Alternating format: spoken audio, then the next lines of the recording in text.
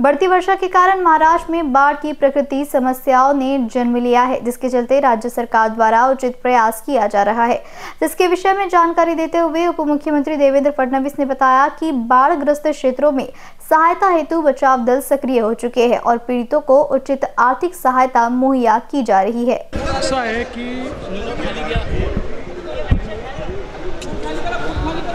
उद्धव ठाकरेंची जी घरगुती मुलाखत आहे त्या घरगुती मुलाखतीतलं एकही वाक्य हे प्रतिक्रिया देण्यालायक नाही आहे त्याच्यामुळे कृपया माझा वेळ त्याकरता घेऊ नका. मोठ्या प्रमाणात पूर परिस्थिती आहे पण आता परिस्थिती बऱ्यापैकी नियंत्रणात आहे.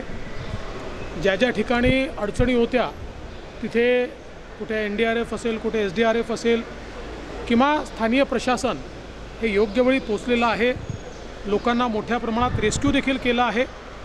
यासोबत जिथे काही घरांची पडझड झाली आहे तिथे आपण मदत करतो आहे आपल्याला माहिती आहे माननीय मुख्यमंत्र्यांनी नुकतंच तातडीची मदत ही पाच हजारावरनं दहा हजार रुपये केली आहे. पूर्वी आपण टपऱ्यांना दुकानांना मदत करत नव्हतो. त्यांनाही पन्नास हजार रुपयापर्यंत आपण मदत त्या ठिकाणी घोषित केली आहे. त्यामुळे जिथे जिथे अशा प्रकारची परिस्थिती आहे त्या ठिकाणी तातडीची मदत ही दिली जाईल.